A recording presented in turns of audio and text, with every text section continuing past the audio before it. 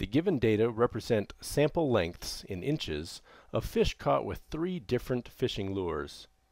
At the 0.05 significance level, test that the mean fish lengths for each lure are all equal. This is an ANOVA test, where the null hypothesis is that all of the means are equal. Mu sub 1 equals mu sub 2 equals mu sub 3, where we could define those. We could say that the jump lure would be associated with mean sub 1 and the jack lure is associated with mean uh, mu sub 2 and the third mean would be associated with flash. It's always good to just make sure um, you know what you're referring to.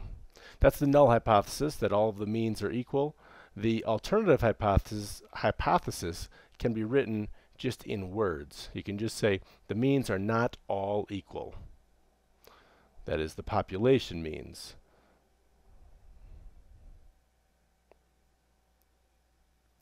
The means are not all equal.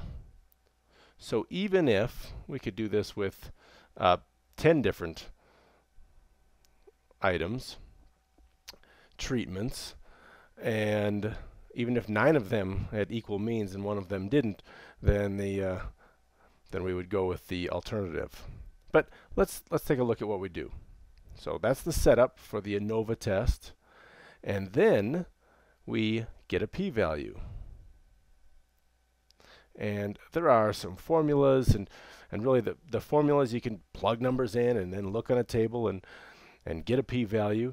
But you know Excel will do the same thing for you, but just without the time of plugging numbers into a formula.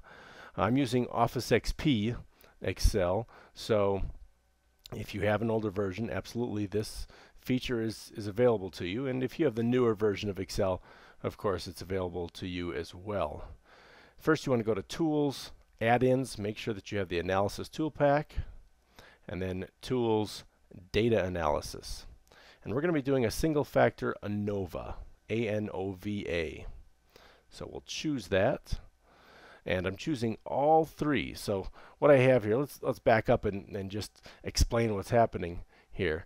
I have um, the sample lengths for the jump lure, the jack lure, and the flash lure. Notice that the sample sizes do not have to be the same. And Excel will pick up on that. They won't it won't just throw a zero in in these empty cells like it does with some other functions. It just says, okay, I know those are blank, and it, it disregards the blank cells.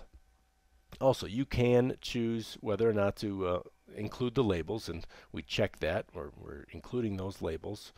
And we want our um, sample data to be grouped in columns. So we've got all that. It's kind of like a, a flight checklist. Make sure you've got everything um, correctly checked and, and chosen. The alpha, that's our significance level, 0.05. Our output range, this is simply where do I want to start outputting this, and the upper left-hand corner of the output will be right there. So I choose that, and then I say, OK. And now let's walk through all of the information, or at least uh, the pertinent information that is given. We've got the different groups, and we would call these the treatment groups. That's jack, jump, and flash. Jump, jack, and flash. We have the means here, the sample means. These are the sample means. And notice that the mean for jump is very close to the to the mean for flash. And for Jack, it's not too far off, especially with such a small sample size. But look at this variance. This variance is very small for, for Jack.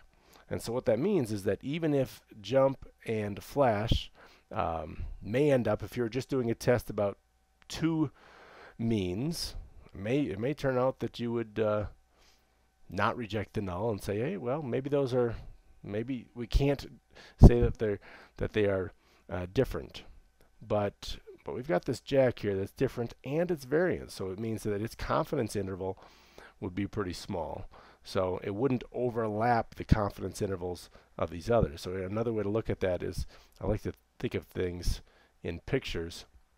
If you had jump, jack, and flash, I'm going to put these right in the same order. And let's say this is jump's confidence interval. So we have this along a number line. And then jack's number uh, confidence interval would be way up here.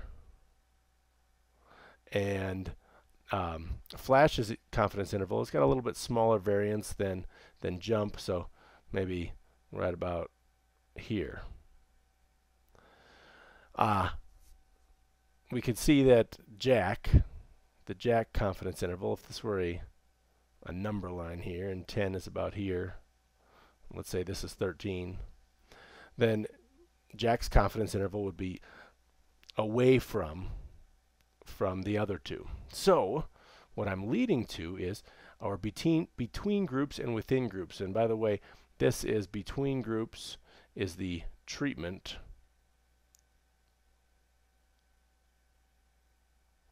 and within groups then would be the error. So if you see other table setup for ANOVA, um, that's what these two mean. That Excel just calls it something just a little bit different. We've got sum of squares here. I, am not going to mess with that in this video. I'm just going to jump right to this, this p-value. p-value is small. Okay, let's cut to the chase finally and say this p-value is 0.0081 and that p-value is less than the significance level of alpha is less than 0.05. So we will reject the null. When you have a small p-value, you can reject the null hypothesis. And you're not completely accepting. We never say accept. We're not accepting the alternative, but we sure are siding with it. So in the end, we'll say evidence suggests. We're not 100% sure, but we have a, good evidence, the evidence that we have, sure does suggest that the means are not all equal. Even if two of them uh, might be, we can't say that they're all equal. The means are not all equal.